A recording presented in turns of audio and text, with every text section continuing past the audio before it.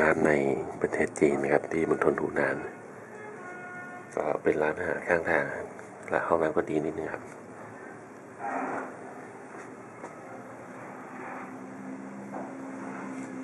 มาเที่ยวที่มณฑลหรือบางที่ก็ได้รู้ว่า เออต้องเข้าห้องน้ำแบบใดให้ได้บ้างนะครับ ไม่ต่างจากบ้านเราครับ แต่ละที่ก็เหมือนกันแต่เป็นที่ท่องเที่ยวหลัก ๆ นี่ก็โอเคเขาเป็นอีกแบบหนึ่ง ตามปั๊มก็อีกแบบหนึ่งครับ อันนี้เป็นแบบตามร้านก๋วยเตี๋ยวทางทาง